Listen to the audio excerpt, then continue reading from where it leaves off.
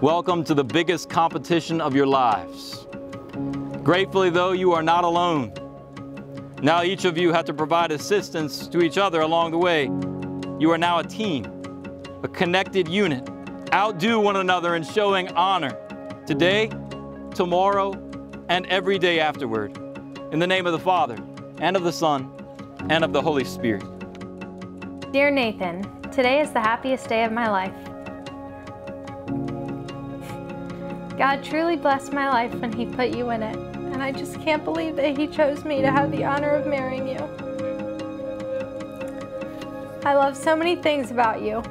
I love who you are as a man, human being, coach, friend, boyfriend, fiance, brother, son, teacher, and every role in life that you play. My entire adult life, I've been searching for you. I've tried to find that special kind of love that cannot be explained, but I have never experienced this kind of love until I met you. In a few hours, you will become my husband. My husband. That word still sounds so surreal. I can't believe that you're going to be my husband and I'm going to be your wife. Every night I go to bed and I say, quote, I love you, Toni. And every night that I do that, the phrase just seems to get stronger and stronger.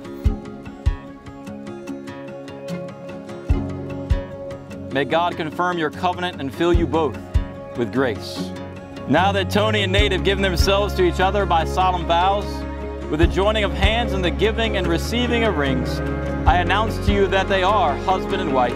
In the name of the Father, and of the Son, and of the Holy Spirit. Those whom God has joined together, let no one put asunder. Nate, you may kiss your bride.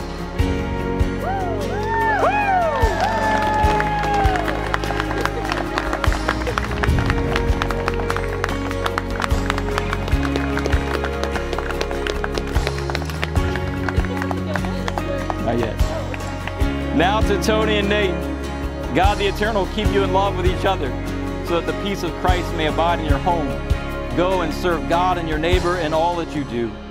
And to the congregation, bear witness to the love of God in this world so that those whose love is a stranger will find in you generous friends. The grace of the Lord Jesus Christ, the love of God, and the communion of the Holy Spirit be with all of you now and forever. Amen. I now to pronounce and, and tell you that for the first time in public, we now have Mr. and Mrs. Nathaniel Thomas Mullins.